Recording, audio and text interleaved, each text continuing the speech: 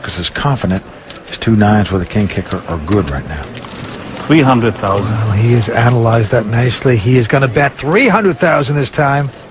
That is one stiff bet into the Frenchman. Got a tough decision here. This is part of the problem. When you're checking and calling, you're always at a guess as to whether your opponent's got it or not. You're far better off to lead out and bet to gain information sometimes. Well, he has gotten stubborn. He has called this. And he has made the call. I put you on 10 jack. We are going to the river. Here it is. It's a 10 of diamonds. Helps neither player. Well, neither player liking to see that card. They know if either guy was drawing at a straight, they either made the straight or they made two tens, which beats their nines. Ludovic not messing around, checking again. Now Marcus taking his time here.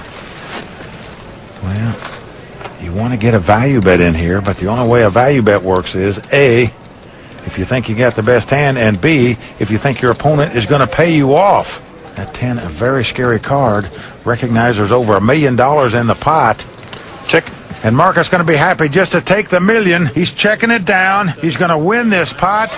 And you can go back to that old poker proverb. It pays to have a kicker. Marcus's kicker wins this pot for him. It's over a million dollars. So now Marcus Lehman, the amateur player, well out in front. And Ludovic, look at him. He's kind of talking to himself. He's saying, hey, I knocked out the best players in the world here. I'm up against this amateur. This should be a little easier than that. And with that last hand, the blinds are going up. Blinds will be 25 and 50,000 now. We're going to start to gamble in the castle. Well, what a turnaround we've seen here. Since we've been playing three-handed, Ludovic Luque was well in charge of this final table, but we've seen a tornado in Marcus Lehman. He has won a number of pots in a row by being aggressive. Well, not this time because Ludovic with ace-jack has raised it to 125. Well, you can't blame him for raising here. This is a big hand and heads-up play. Now Marcus with a 9-6. Looks like he wants to compete here.